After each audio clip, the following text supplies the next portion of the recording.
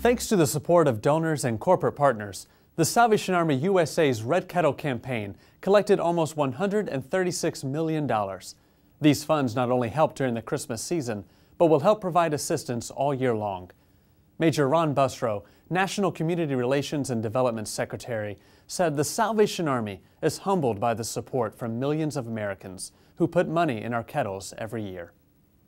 Salvation Army communications professionals from around the world gathered at William Booth College in London for the first International Communications Summit. During the summit, delegates discussed effective brand management, web and social media, advertising, media relations, and crisis management. This has just been an outstanding week in London with uh, global communications professionals from the Salvation Army world getting together to talk about best practices and just uh, building relationships in the ministry that we do.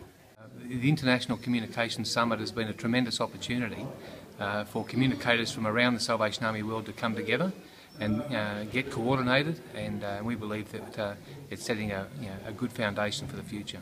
I think that we've all discovered that uh, if someone sneezes in uh, Australia, that we can catch cold in Canada, and uh, we share so much in common um, as uh, uh, people engaged in communications. Um, so, best practice, that's been very helpful for us this week to learn what they're doing. It's been a wonderful experience being here in London, meeting with uh, other directors of communications from the Salvation Army around the world, talking with each other, learning about the shared interests we have and the work that we do, the issues we're talking about, the successes we each have in our respective countries. It's just been such an honor to be here, and I, I look forward to remaining in touch with my partners and my colleagues. I think this conference we had here in London is very helpful by uh, coordinating issues which are in the Salvation Army world, which we have to deal with, and also having good network contacts, learning from each other. So it's a marvelous opportunity to get together.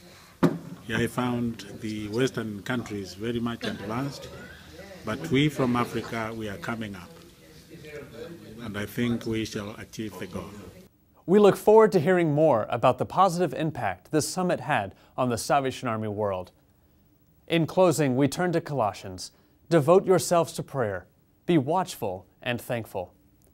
Thank you for watching. For Salvation Army Today, I'm Chris Raymer.